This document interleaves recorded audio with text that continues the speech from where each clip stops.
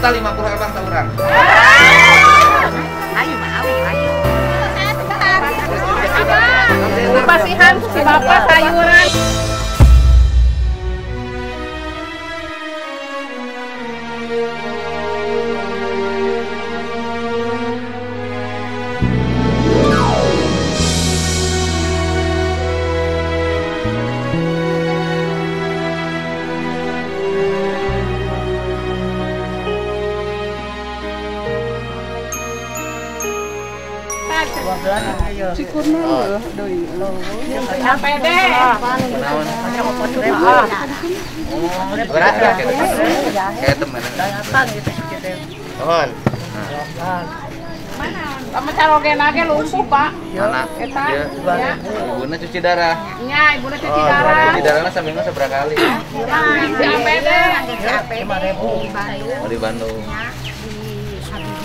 Oh di rumah sakit Hainun Habibi, rumah sakit Habibi di Bandung gratis itu nyaman. Mohon, kan bolak balik ongkos. Ya, mohon. maaf. Bapaknya lumpuh. Tinggal ikan Setru. terus. Bapaknya stroke. Ya, tadi pengker Bu Bina. Terus, Tadi mana raka tuh, saya Aceh? Nah, kayak bekal. Samangsa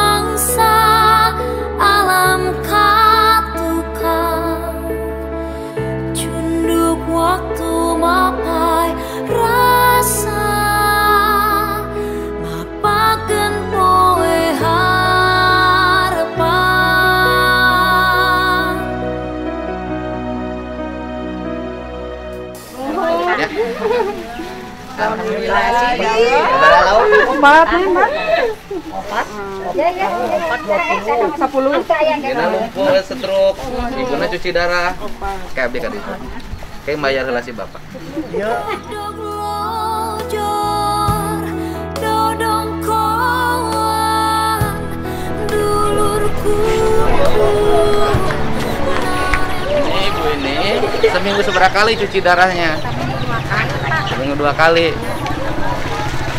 Seminggu dua kali cuci darah ke rumah sakit Habibi di Bandung. Dulu saya termasuk orang yang sering ke situ ikut peresmian dengan Pak Habibie almarhum masih hidup. Dan suaminya stroke, ibunya cuci darah, suaminya stroke. Oh, menuju terapi. Oh, di Seloam itu Purwakarta. Hmm. Ibunya cuci darah tadinya naon masalah nakal itu? Seminggu sekali. Ya, sa- tiap dinten itu mah Pak ngangge cairan mah. Oh. Dinten ngangge mesin gitu. Oh, gitu. Nganggena dia nyalira di bumi. Dicuci nyalira. Oh, jadi cu- cucinya sendiri. Nah. Ke Bandungnya seminggu seberapa minggu sekali? Bulan sekali. Oh, bulan sekali ke Bandungnya. Itu dus-dus bekas obat. Ya. Ini dus bekas obatnya. Nah, cairan aku sih Pak. Ini dus bekas obat-obatnya. Ya, tadi bekas obat. Obat-obat ini nggak bayar. Enggak, pakai BPJS. pakai BPJS. Oh. Jadi obat-obatnya nggak bayar, pakai BPJS. Paling ibu hanya transport ke Bandung. Iya, cuma ke Bandung doang. Bapaknya sudah nggak kerja. Enggak kan setruk sebelah. Bapaknya stroke sebelah nggak kerja. Dulunya bapaknya kerjanya apa? Enggak, biasa buruh gitu apa? Eh, serambutan gitu. Jadi yang sekarang jadi tulang punggungnya anaknya, yang perempuan Perempuan. kerja di pabrik. Pabrik. Itu yang jadi tulang punggung Iya. ibu sekeluarga. Belum nikah. Belum. Ini salah satu ya. Ini. Cuman menimpa balatak bu. Ya can beberes Pak.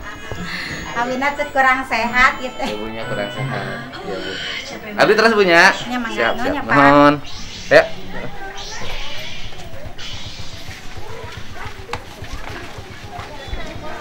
Bu mangga sadaya nuhun. Teman-teman.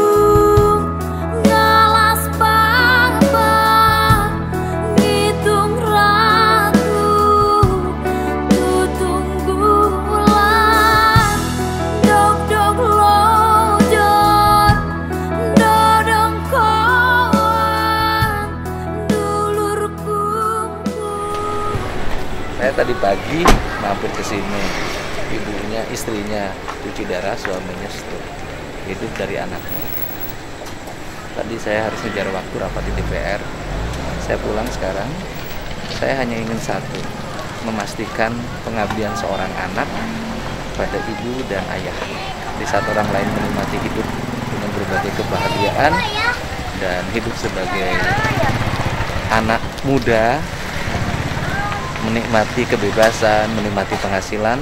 Ini seluruh penghasilannya didedikasikan untuk orang tua. Ini top banget. Punten. Oh, itu. Oh, Halo Pak. ya. Aduh, balatak ya, mau mewuih. Kita lihat. Berapa Pak? Banyak. Nanti diberesan si Jalu aja. Tapi nganter di rumah sakit pak. Di rumah sakit. Ya putra Bapak. Dua. Eh, Nek, Halo Pak. Dua. Bawa punten ya. ada sawios. Keseberapa nih Bapak? Damang nak. Ya itu pak, pada ada bangkrut pak itu pak. Oh, Bapak kerja di Dada. Oh. Anak bapak cecep. Oh. Oh, kalau itu kerja di Dada. Pak. Dada na lockdown, eh, lockout. Oh, Bapak kerja serabutan, capek tuh. itu kenging PHK kan? Itu kenging pesangon. Gitu. Ya dulu kerja di Dada, perusahaan tuh yang di perempatan Sadang. Perusahaannya tutup, bangkrut. Garmen lari kan. Iya. Bapak langsung PHK. Ada PHK-nya nggak dapat pesangon. Pesangon. Akhirnya kerja serabutan. Serabutan. Kerja apa saja dikerjain. Iya. Pernah kerja naon wae Ngepres. Press kardus. Di Ada ya oh ngepres kardus. Kalau ibu mau kerja di cairan pak. Ibu lagi ganti cairan. Kan sebulan sekali ya, Ya. harus ke Bandung. Tapi ganti cairannya tiap hari kan? Ya ada 4 jam sekali, 6 jam sekali. Empat jam sekali yang dipisahin ke sini tuh Iya. ada cairannya. Jadi tumpukan-tumpukan itu adalah isinya Pengganti ginjal. pengganti Ginjal. cairan. Cairan. Cairan untuk Pengganti ginjal. pengganti ginjal. Sekarang lagi ganti cairan, cairannya diganti empat jam sekali. Eh, luar biasa. Ini yang bungsu, Musuh. sekolah Di? Cipinang. Cibatu. SMK Negeri ya, SMK Negeri Cibatu. Jurusan apa? TKJ. TKJ. Yang nanggungnya teteh. Jadi teteh itu nanggung adik sekolah, bapak dan ibu yang gagal ginjal. Luar biasa. Dulu sekolah di mana teh? Sama dua. SMA 2, angkatan tahun berapa? 2016 kalau lulusan. Kan Subang ya? Iya. Sekolahnya di SMA 2 Purwakarta. Iya. 2016. Yang ngalamin lah saya sering ke situ. Iya, dulu juga suka ikut Bapak gempungan. Nari. Nari. Kan dari SMA 2. Oh, rombongan nari yang SMA 2. Iya. Yang waktu itu Sama dibimbin Babe Anggi. Ah, oh, Babe Anggi. Iya. Terus eh, itu sama yang seniman dari Bandung. Eh, itu Top Gondo. Bukan, ada yang satu Siapa? lagi yang rambutnya kribo. Oh. Belum waktu itu mah. Belum. Belum ah, sebelum. Sama Anggi, Pak Sama Bang Anggi ya. Iya. Ini saya dulu sering keliling ke berbagai daerah, suka ada tim penari teman-teman SMA 2. Rupanya ini rombongannya. Kan yang di sini tuh Arnet. Iya, Teh Anet. Arnet makan jadi guru tari, sekarang Iya. juga masih di tempat saya. Iya. Suaminya kan di Purwakarta, orang mana? Padang, orang mana? Orang Palembang. Orang Palembang. Oh, Teteh pernah ikut rombongan sana, Iya, mana sana Teh? Diana. Diana ya. Lulus dari SMA, kerja Iya, kerja. di Di Suai. Suai itu mana pabriknya? Ini Subang. di Subang, di Wantilan. Wantilan pabrik apa Iya. itu? Pabrik otomotif kabel. Oh kabel, otomotif. Otomotif mah UMK-nya agak lumayan biasanya. Alhamdulillah. Beda dengan garmen kan, kalau garmen. Sekarang gajinya untuk biaya hidup Semuanya. Dua orang tua sama adik. hebat. Harusnya dinikmati, tapi diabdikan untuk adik dan ibu dan bapaknya. Luar biasa. Sebulan sekali harus ke Bandung, Iya, ke Bandung. ke rumah sakit Habibie. Iya. Saya tuh rumah sakit Habibie banyak kenangannya karena sering ke situ dulu. Saya dulu membuat cuci darah gratis itu terilhami oleh rumah sakit Habibie. cuci darahnya dibikin ada sekarang masih sekarang masih berjalan Hmm. sebulan sekali diantar sama Sama adik kalau saya libur sama saya. hmm, diantar ke Bandung ke Masjid Habibie naik apa naik mobil Motor. Hah? Motor. Dulu sama saya pak. Waktu Waktu bapak masih sehat kan sama papa sana nah. naik motor. Sama bapak. naik motor Naik motor juga. ke Bandung ke Rumah Sakit Iya. Habibie sekarang naik motor Naik juga motor juga. untuk ngirit Ya nggak ada lagi Nggak ada kendaraan lagi. juga sih. ya untuk ngirit karena kan kalau nyewa mobil mahal Mahal. Iya. karena saya nanganin yang cuci darah banyak rata-rata memang cuci darahnya gratis mereka problem di angkutan gini nanti mulai kapan lagi ke Bandung cuci darah Tang- Tanggal tiga. 23. Berarti Tanggal tiga. nanti saya kasih nomor WA tim saya nanti tiap ke Bandung diantar jemput pakai mobil saya. Gak usah lagi naik motor terlalu beresiko tinggi. Masih sekolah SMA kelas SMK lah. Belum punya SIM juga. belum punya SIM. Takut jatuh di jalan. Nanti nauzubillah ya cuci darahnya. Bisa jatuh dari motornya beresiko. Ya nanti nggak usah mikirin tinggal naik berangkat. Gitu. bisa pakai ambulan bisa pakai mobil biasa. Ambulan juga kita udah siap sekarang. Itu biar ngeringanin selain itu tapi kan hanya biaya antar pulang pergi aja yang Iya. yang uang ya sekolahnya yang rajin sekolahnya naik motor Iya. karena kalau ongkos mahal Nah, ke dalam sih pak. deket kan Iya. sini ke dalam. ke dalam ngirit-ngirit berat keluarnya 2016 Iya. Pulang kerja jam Pulang kerja jam lima setengah enaman lah nyampe sana Setengah enam. kan nunggu jemput jemput umur teteh berapa sekarang 22 tahun. 22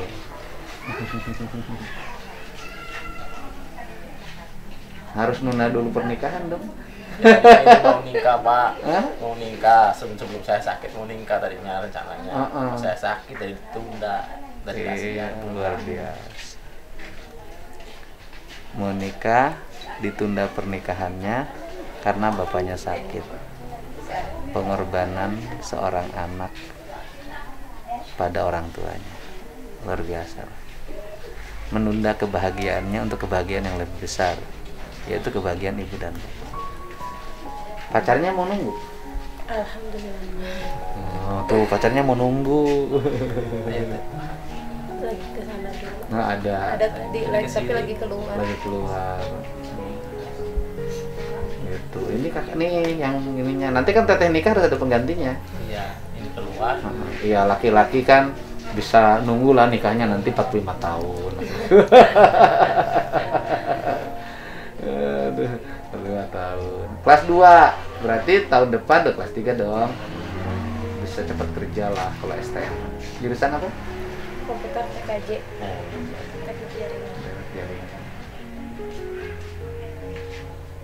Ya Fahri, udah- tadi ke Bapak mah dekat ke rumah sakit itu, Siloam.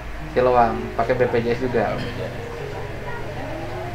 Pakai BPJS juga. Ini Pak nggak boleh.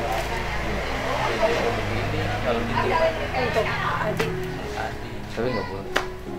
Ini salah satu penyebab. Saya AC kepasang, kebeli, kebayar. Tapi saya sampai hari ini pakai AC cuma di mobil. Di rumah nggak mau. Tidur di Bukan di cairan. Tidak, tidak pasang AC. Di kantor itu saya hanya kuat sebentar. Habis itu setelah lari dulu keluar baru masuk lagi karena AC-nya terlalu tinggi. Jadi biar sehat alami. Olahraganya apa? Main bola. Badannya jangkung, cocok. poli. Voli. Ini cocoknya main bola, voli, Pak. dan ini Hah? dan ngalah buah. Kan jangkung ngalah buah. Nah, itu masih ayaan. Eh, ngalah buah jangkung. Nanti tinggal di ini ya teh, nanti WA-an sama Iya. ada Haji Mumu yang ngurusinnya nanti jam kurang antar jemput pasien. Tadi juga kita lewat ada stroke juga lagi itu mah mengerikan juga jadi lagi ngedorong dorongan siomay dalam posisi sudah gejala stroke dan itu kalau tadi tidak saya bawa ke dokter dia jatuh di jalan.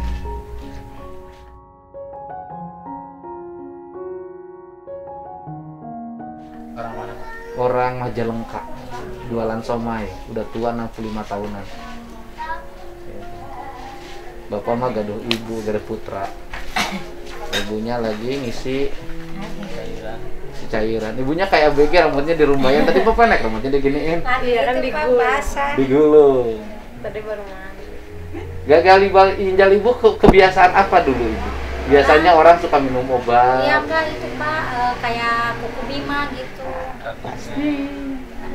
Kan tadinya kerja. Iya, saya selalu kalau yang ginjal satu biasanya suka punya kebiasaan minum obat tekanan darah tinggi. Iya. Yang kedua, mengkonsumsi obat-obatan dan minuman yang bersoda tinggi biasanya. Atau obat-obat yang kuat. Kuku bima mah buat laki-laki, Bu.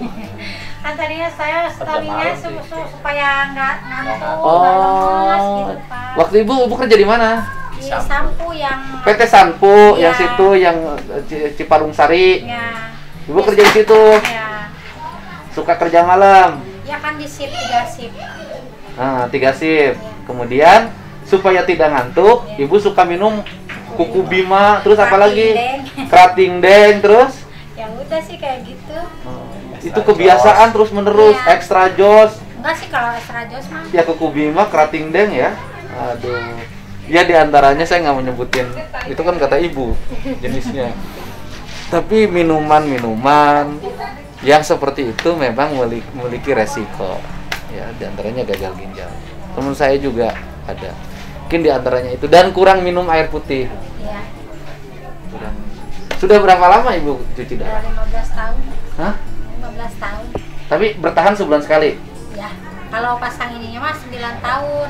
Hmm. Kalau Kalau sakitnya? sakitnya mah udah 15 tahun. pasangnya baru 9 tahun, 9 tahun. sakitnya udah 15 tahun. Gantinya ganti tas pinggangnya 4 jam sekali. Ya. Itu kan tas pinggang tuh saya. Kan di bawah. Panjang sekali. Ya nih. Jadi rencana teteh menikahnya kapan nih? Ini dulu Pak nungguin kan kalau ya mungkin mudah-mudahan kan kontrak terakhir dia Januari. Januari kontrak terakhir. Mudah-mudahan dia diangkat jadi karyawan gitu. Jadi karyawan dulu baru Iya, nikah. Kalau nggak jadi karyawan kan otomatis di stop kontraknya nggak dikerja lagi itu siapa yang biaya hidup saya kan nggak ada. Iya. Makanya nunggu dulu. Pengorbanan, Pak. Pengorbanan. Jadi nunggu. Jadi sekarang masih karyawan kontrak. Iya. Habisnya bulan Januari. Doain ya manajemen perusahaannya PT Suai ini menanggung beban yang begitu berat. Menanggung beban ibunya, menanggung bukan beban ya, menanggung ibunya, menanggung bapaknya. Bukan di beban itu. Itu adalah pikulan ringan.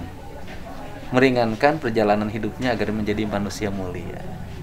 Statusnya masih kontrak, mudah-mudahan baca, lihat tayangan ini segera angkat jadi karyawan tetap. Dengan mengangkat jadi karyawan tetap, berarti kita sudah meringankan derita yang dialami oleh ibu dan bapak. Lembur pandinengan wasilah medamung garam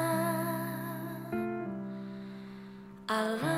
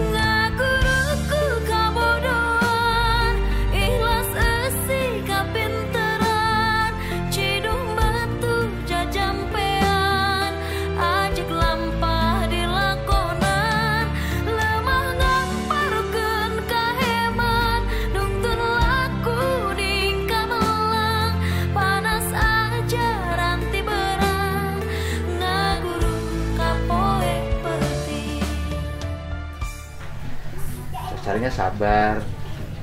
Sabar dulu tunggu dulu. Tunggu dulu ini lulus SMA kalau menurut saya ini lulus SMK dulu nikah. Ini nanti jadi penggantinya. Kalau laki-laki kan lama. Ya umurnya berapa 17 17 dua tahun lagi 19 nanti kerja umur 20 nikah umur 45 15 tahun bisa nanggung Pak. Iya, laki-laki mah biasa sekarang mah jangan cepet-cepet nikah. Kalau perempuan sih nggak apa-apa. Katanya mah 22. Lagi motor ke Bandung. Ya nanti ibu, nanti nggak lagi ibu diantar pakai motor karena terlalu beresiko, ya. Jadi nanti tiap bulannya nanti diantar oleh tim saya ke Bandungnya. Ibu tinggal duduk aja, bolak-balik. Tuh, Ibu pilih mana? Pilih mobil biasa atau ambulan? Mana aja. Iyalah, nanti ada kalau kalau saya sih ambulan lebih nyaman. Jadi ya sengaja Abdi tadi cepet-cepet lagi kedah rapat di DPR. Ayeuna uih ah orang mampir si tetehna pasti tos aya. Ya, ah namanya sa? Maman? Muhammad bagus Oh. Muhammad Bagustian. Udah Muhammad bagus lagi. ya kita udah ketemu sama ibu ya 15 tahun sakit gagal ginjal 9 tahun cuci darah kalau kita semua bukan cuci darah harus cuci hati agar bersih dan peka terhadap apa yang diderita oleh orang lain kebahagiaan kita harus menjadi kebahagiaan orang lain kesedihan orang lain ada kesedihan kita kebahagiaan, kebahagiaan orang lain ada kebahagiaan kita pusing enggal damang tapi ibu jag-jagnya tapi Alhamdulillah sih baik, tapi duka lah mau cuci darah mah. Kan abi mah CAPD. Ya, CAPD. CAPD mah kan bebas makanan. Mm-mm. Ayo cuci darah mah kan seuran nu tadi emam Ya. gitu. Nah, pokoknya masukkan ibu mah Ya. cairan anak Mah abi mah ah, tara pusing-pusing Pak, abi mah tara di pikiran. Ah, oh, oh. Bebas we gitu. nya bebas itu sin si bapakku batur ente nya Ah, bae we. nggak pernah dipikirin katanya dia dia sebenarnya di damel di dia di bumi, Pak. damel naon ibu Ya sampu teh kan Di mati dicana ka sampu. dieu. Kapungkur teh? Ayeuna ge. Masih? Cuman ayeuna teh barang. oh. ngerjakan naon di bumi ibu yang ngiketan barang gitu Ngiketan kertas ya? ya kertas akhirnya juta ya di upahna barang sabaraha ya lumayan lah genep ratus perak sabek sabe ya lumayan ngisi waktu ya. Ya daripada anjing ini tas nganggur. bobo nya gitu pikiran. Ya. Yang dibebaskan. Iya. Iya. Ibu saya abdi bade trasnya tos wengi ke dawi ke bumi. Ya itu nanti tinggal WA deh. Iya, tak jam berapa. Ya. Ini juga mau nitip takut. Di sini nambah nambah ya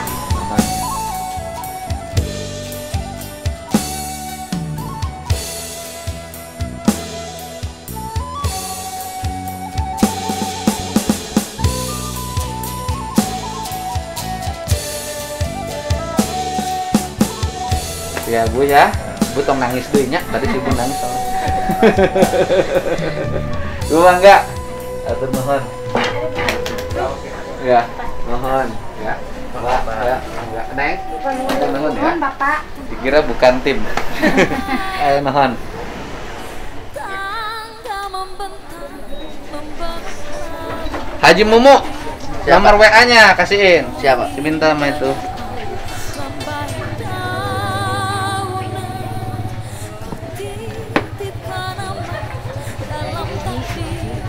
Ayo Bu. waduh rame. Bukan pada dia. Rame gini